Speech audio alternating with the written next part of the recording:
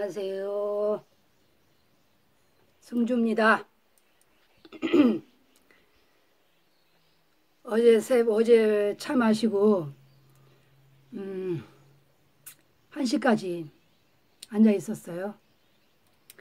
1시 되니까 좀 비가 잦아지더라고요. 조금 조금 비가 이제 작게 오기 시작하면서 한 2시쯤 되니까 그제서야 그치더라고요, 비가. 그리고 4시 예불 시간 되니까 안개가 빡빡하게 끼어가지고 음, 아 오늘 날씨 낮에 날씨 덥겠구나 했는데 이제 안개가 거치면서 해가 올라왔고요. 전 다시 일상으로 돌아왔습니다. 잠을 좀덜 자갖고 목이 좀 쉬었습니다. 쉬어서 아침에 토마토 한 그릇 먹고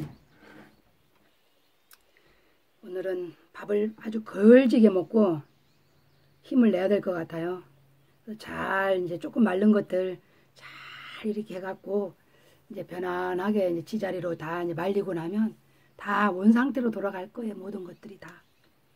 잡곡밥 맛있는 잡곡밥 해갖고 왔어요. 음. 아욱국 끓여가지고 아욱국에 조금 그거에서 들깨도 약간 풀어 넣었어요.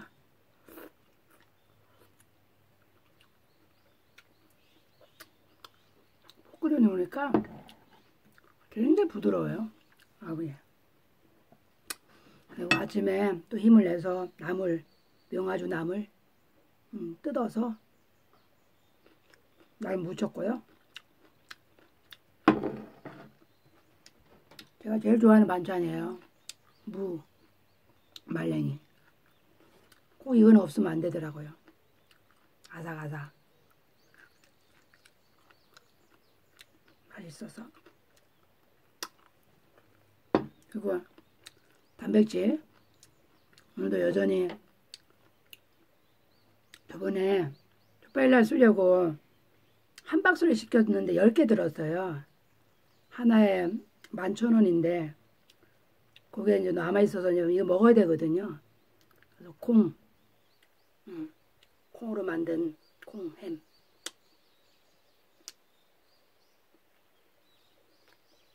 항상 조금 음, 안에 그 들어가 있는 것들 때문에 좀 담가 놓고서 한답니다. 그리고 쌈을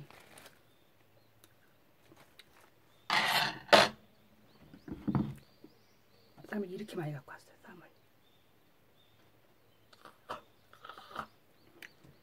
쌈을 많이 먹어야 돼요. 쌈을. 오늘은 그 야생 깻잎도 나와서 야생 깻잎, 케일, 상추, 계피, 순 이런 거 넣고 어, 볼이 터지도록 먹을 겁니다. 어제 잠을 좀 제대로 못 자서 그리고 묵은지 씻었어요. 깨끗하게 씻어가지고 이것도 쌈싸 먹고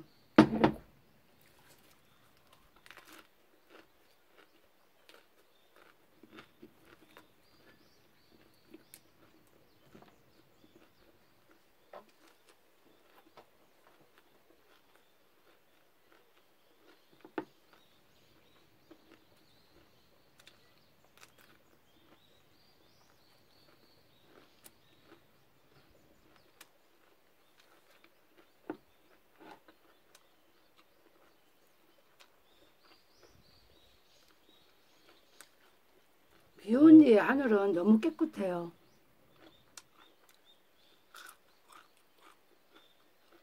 구름도 맑고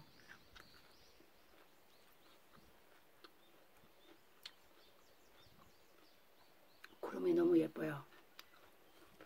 음, 깻잎 향이 진짜 좋은데요? 배고프시죠? 저번에 어떤 사람이 음, 먹고 싶다 이래 아니 미안하더라고 괜히. 아유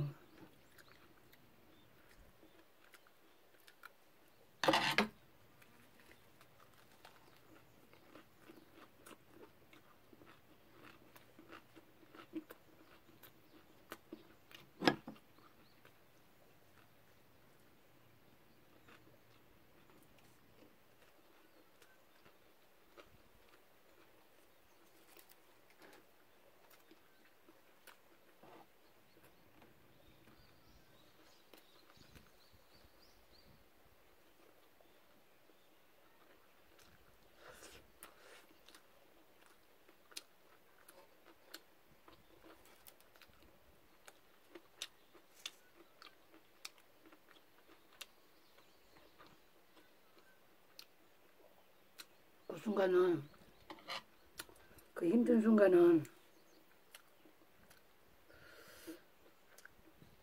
그 감정이 힘든 감정에 빠지면은 정말 힘들다는 생각이 드는데 그것도 한 다섯 여섯 시간 지나니까 다 사라지고 없더라고요.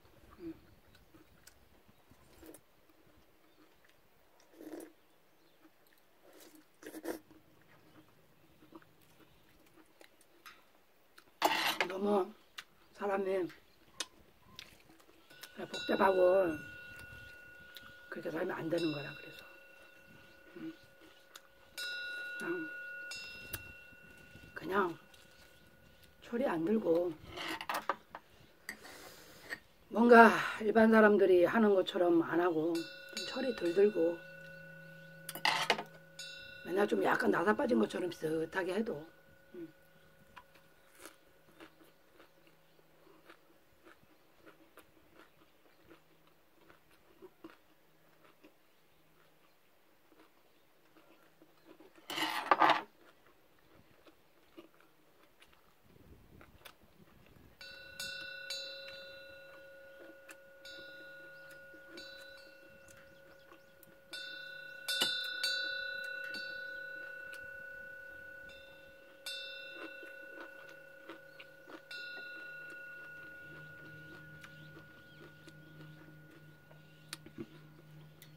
어제 힘들어서 그런 거야?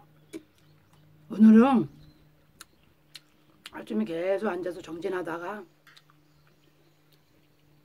올인을 올인을 올인을 보리에다가 막 올인하려고 계속 널고도 흔들어 주고 그러니까 기분이 좋아지면서요 밥맛이 너무 좋아졌어요.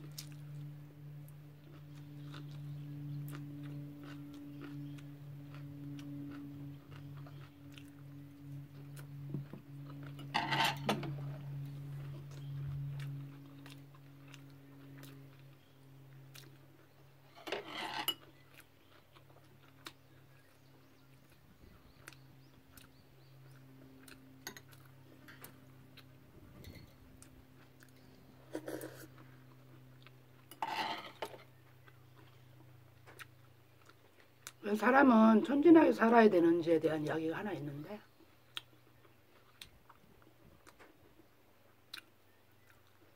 깊은 산 중에 고승이 노스님이 아이를 어디 동자를 어디서 데려다가 키웠는지 모르지만 아기 때부터 키운 것 같아요 동자를 음.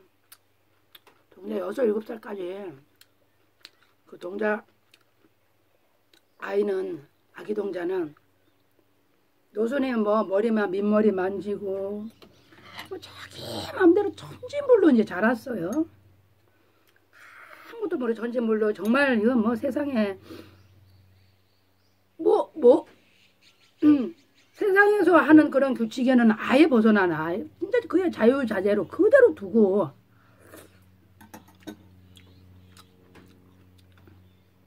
천지불로 키우셨어요 노스님이 근데 교수님이 무슨 일이 있으셔갖고 일주일간 집을 비워야 될 상황이 됐어요. 아한테 아이한테 이렇게 이렇게 챙겨 먹으라 그러고 길을 떠나셨는데 그 사이에 어떻게 객스님이 객이라는 것은 그 송객자를 써서 떠돌아다니는 아그네 스님을 이제 객이라 그러는데 그 객 스님이 우연하게 어떻게 길을 잃어갖고 그 암자에 들어오게 된 거예요. 음. 들어와서 딱 보니까 어린 아이가 하나 있는데 천방지축이에요, 애가. 물불을 못 가리고 여기 스님은 애를 갖다가 저렇게 교육도 안 시키고 어떻게 저렇게 어, 키울 수 있는가 싶으니까 내가 얘를 교육, 교육을 시켜야 되겠다 생각을 하신 거예요. 그래가지고 그때부터 그 암자에 있으면서 그 젊은 스님이 그 아이를 네가 어, 수성이 오면 이렇게 하고 수성이 오시면 어디 외국 외출 갔다 오시면 다녀오셨으니까 인사해야 하고 또 주무시기 전에 안녕히 주무십시오 하고 음, 항상 밥자리에서는 얼음 먼저 수저를 든 다음에 네가 수저를 들고 그러니까 일상적으로 우리가 말하는 그런 교육을 시킨 거죠.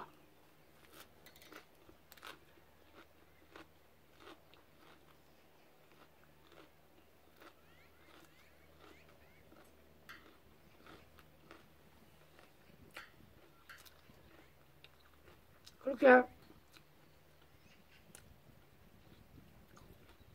시간이 지나서 노수님이 돌아오신 거예요. 음, 근데 왜못 붙은 스님도 한 분 계시고 근데 아이가 행동이 달라졌어요. 아까 노수님 보더니 막 노조짜리 스님 다녀오셨습니까? 딱 합장을 하는 거예요. 합장을 해. 노선님이 땅을 치면서 이렇게 말씀하셨어요. 아차, 사람을 배려놨구나. 사람 배려놨구나. 그렇게 땅을 치고 음, 한탄했다 그럽니다. 그 우리가 그 선악가에 보면은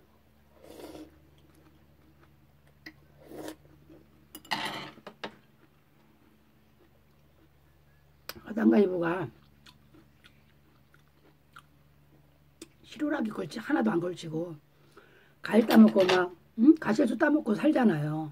근데 뱀이 막 뱀은 지혜를 상징하거든요. 뱀이 가리켜요. 야, 너 그 부끄러운 짓이야. 너가 옷을 가려야 해. 어? 너희들 그러는 거 아니야. 이렇게 가리키잖아요. 요 간산 입으로서 이렇게 찰랑찰랑거리면서.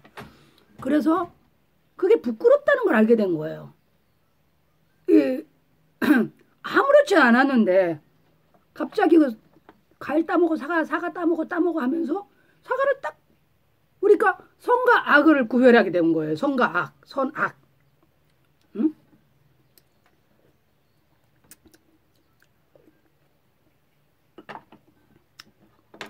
그리고 부끄럽고 부끄럽지 않다는 것을 알게 된 거잖아요. 그죠? 그러면서 인간이 이제 어떤 선악 시비를 이제 하게 되는데 공부하는 사람은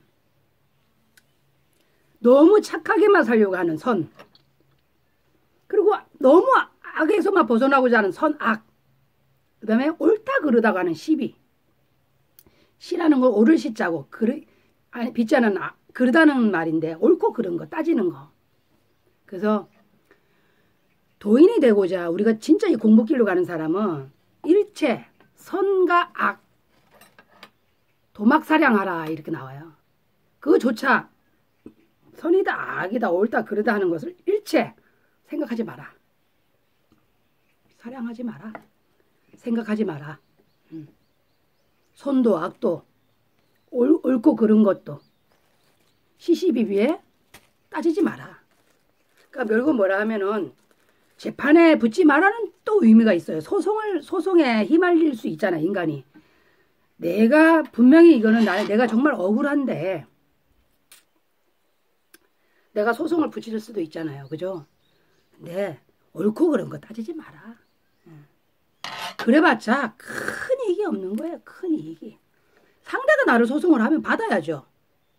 상대가 나를 소송했으니까 그건 내가 해줘야 되죠. 응. 담담하게. 그것조차도 그래. 뭐 그 그닥 잘못한 거 없으니까 떳떳하게 있는 그대로 그죠? 있는 그대로 이야기하면 되는 거잖아요.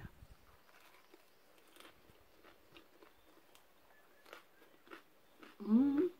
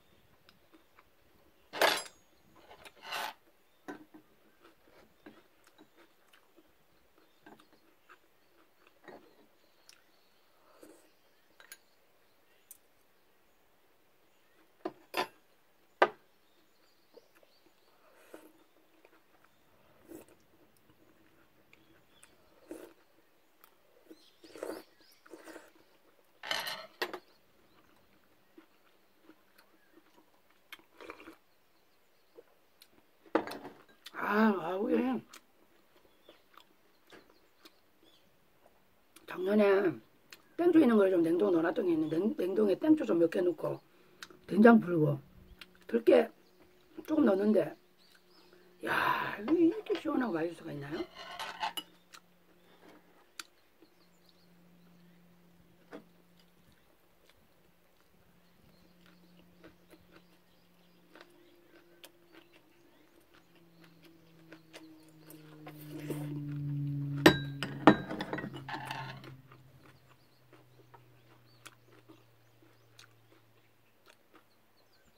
스님은 당연히 이렇게 해야 되고 응? 변호사는 이렇게 살아야 되고 응? 목사라는 이렇게 살아야 되는 교회를 누가 만들어서 거기다 틀에다 가다 놓는 겁니까? 왜 자기 줏대로 봐야 되는 거예요? 스님들은 자유로울 수 없으며 스님들은 응? 이렇게 유튜브 하면 안 되고 그게 누가 만든 규칙입니까? 그 틀이.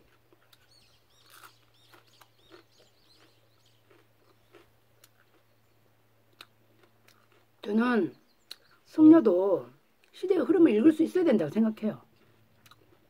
저 시대의 흐름 모르고 살았거든요. 지금까지. 그냥 공부만 하면 된다고 생각했죠.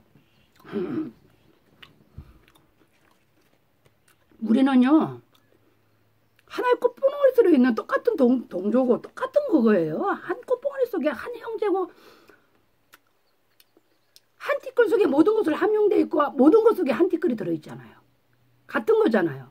근데 숙녀가 뭐 좀 특별하게 누마다나 어떤 유명한 모숙녀를 뭐 연예인이니 어쩌니 하면서 막 도마에 놓고 막 해자하잖아요. 근데 누가 그렇게 말할 자격이 있으세요? 왜 누구는 그렇게 하고 누구는 하면 안 되는 거예요? 숙녀는 숙녀는 사람 아니고 숙녀는 뭐 죄짓고 살, 죄지어서 산에 숨어 사는 사람 아니잖아요. 죄지은 사람 아니잖아요. 저는 내가 당당하게 농사 짓고 내가 살면서 내가 하면서 내가 일반 사람들한테 내가 뭐 그렇게 욕 들을지도 않았는데 숙녀라는 이유로 욕 듣는 거는 그건 좀 아니라고 생각해요.